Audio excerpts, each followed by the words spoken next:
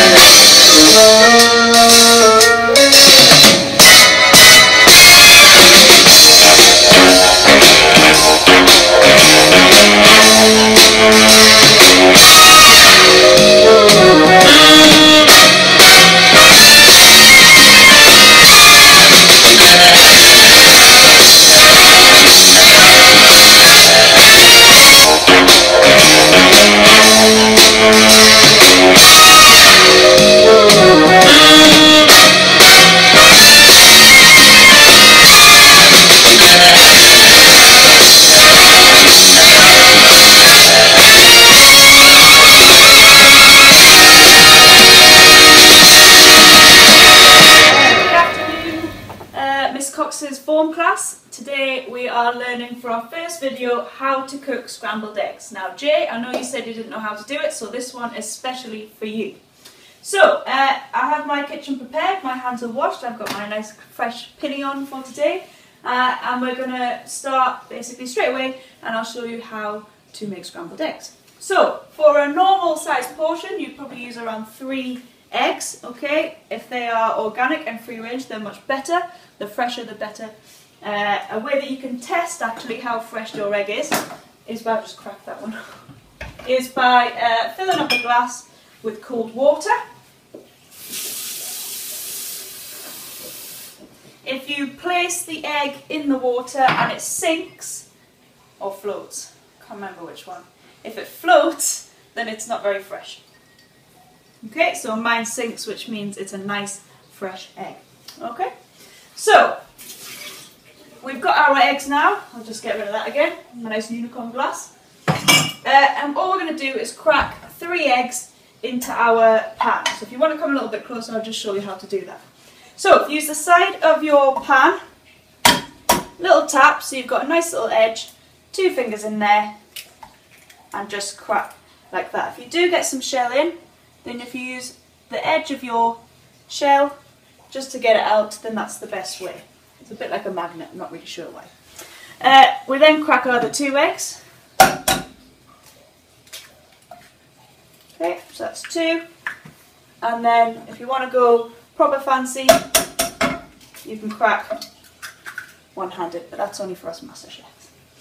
So I've put my little bit of paper there because egg yolk is or can contain salmonella, so it's really important that we don't contaminate our area. So I'm going to just quickly wash my hands.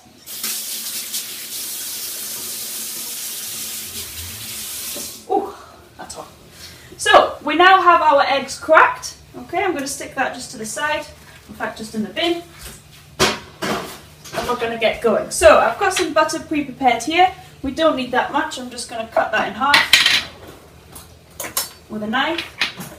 Okay, the butter's just going to act as a non-sticking agent when we come to cooking our scrambled eggs.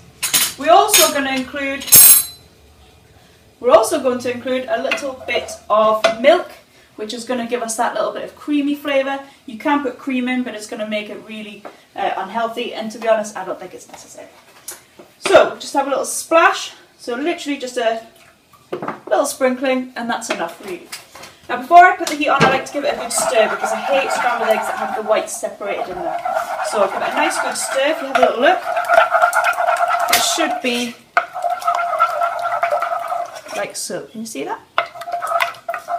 So once I've done that, I'm going to turn my heat on to a medium heat. Now because we've got gas, it actually heats up a lot faster. It heats up instantly. If you have an electric cooker, then if you put that on for a little bit whilst you're maybe mixing up your yolks and then it'll be heated up ready to go. So on a nice medium to low heat, I'm going to place that on there. Whilst I do that I'm going to add a little bit of salt, just a little pinch because we can always season afterwards. You can always take, uh, always add salt or pepper, you can't take it away. So always a little bit at a time. And I like to put my pepper on at the end. The reason being, if you put the pepper in now, it'll turn the scrambled eggs quite grey. So we want to keep it nice uh, and yellow Tiny little sprinkling of salt if it comes out. Okay, that'll do for just now. And if you come a little bit closer, you'll see that my scrambled eggs are starting to stick to the side a little bit. Okay, now once you start to stick, you want to stir it quite frequently. The last thing you want is the eggs to stick to the bottom of the pan.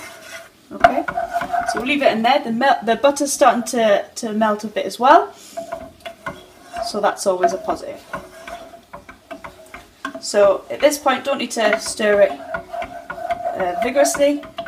Just give it a nice gentle stir, checking around the edges to make sure it doesn't burn. Now you can see that it's starting to get quite hot, and you can see when I do this that it's starting to stick to the bottom a bit there.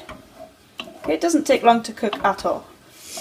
Okay, so I'm going to start to stir it a little bit more vigorously just to make sure that it doesn't stick to the bottom of the pan. Now, scrambled eggs are actually meant to be a little bit runny, so when you see them uh, looking a bit sloppy, that's actually how scrambled eggs are meant to be. If they're overcooked, you'll get a watery sensation to them. So if you see some water, then that's because you've cooked them for too long. So actually, if you take them off the heat when they're still a little bit sloppy, then you will, uh, or they'll start to continue to cook whilst they're on your toast anyways. Okay, so it's really coming to form quite quickly. It doesn't take long once it gets to this stage, but just keep on stirring them. I like to use a wooden spoon. Some people will use uh, a whisk, but my favourite is a wooden spoon. Okay, now I'm going to take it off there. You can see excuse the heat, I'll turn the heat off there. You can see the eggs still have a little bit of glossy shine. Now that's what we actually want. Okay, so when we come to put them on the plate, stick them on this plate here. Okay, when we come to stick them on the plate, they will actually continue to cook. Okay, I would have put my toast on before I cook these because I like my toast to be cold when I eat the scrambled eggs. But if you'd like them to be hot, then uh, you could do that uh, just probably as you mix the, the, the yolks in, like I said before. Finish with a dusting of pepper. Pepper really makes scrambled eggs super, super tasty. And then we'll have a little taste as well, just to make sure that they're seasoned properly. We've got a little bit of scrambled egg. Perfect. Welcome to your first uh, how-to video. This has been Miss Cox and how to make scrambled eggs. Enjoy!